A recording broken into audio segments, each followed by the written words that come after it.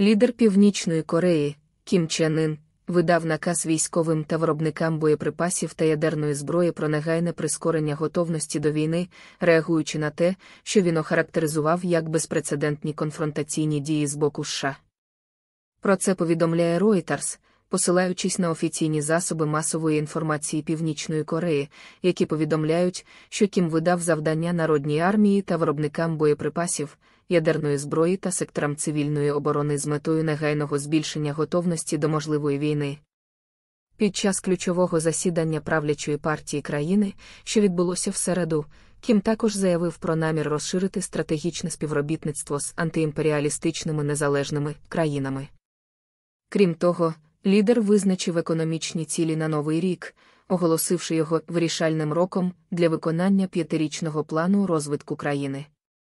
Зазначається, що ці визначені напрямки були оголошені під час тривалих зборів партійних та урядових представників, що стали традиційними для роботи ключових політичних заяв Україні.